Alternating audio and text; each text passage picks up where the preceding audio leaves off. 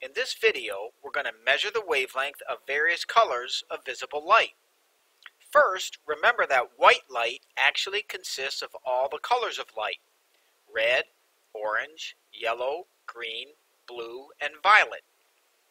We can use something called a diffraction grating to see that this is the case.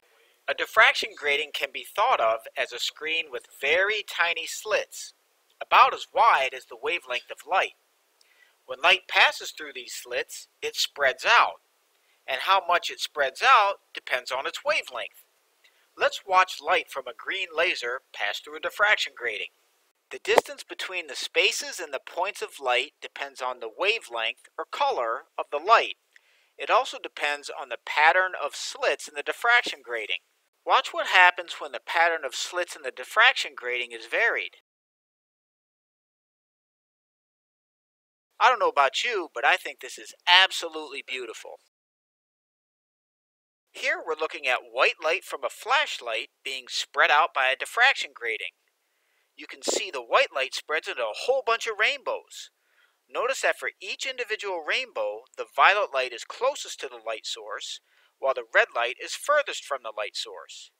Because violet light has a short wavelength and red light has a long wavelength, this shows that short wavelengths bend less than long ones when they travel through a diffraction grating.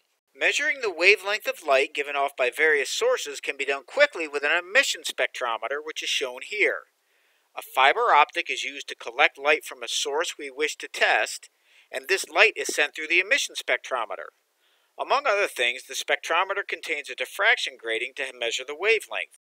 You can see here I'm using the emission spectrometer to measure the wavelength of a red LED. The numbers running along the bottom of the screen indicate the wavelength of light in units of nanometers. So it looks like this red LED has a wavelength close to 640 nanometers. Let's use a spectrometer to find the wavelength of some LEDs of other colors.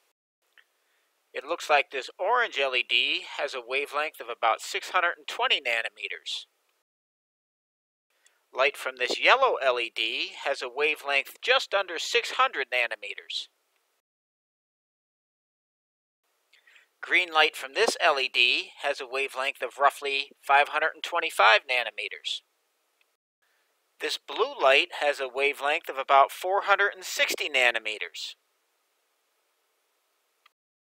And finally, this violet light is just over 400 nanometers.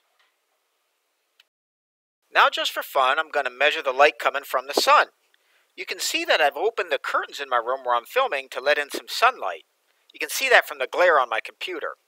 Look at what happens when I point the fiber optic at the sun.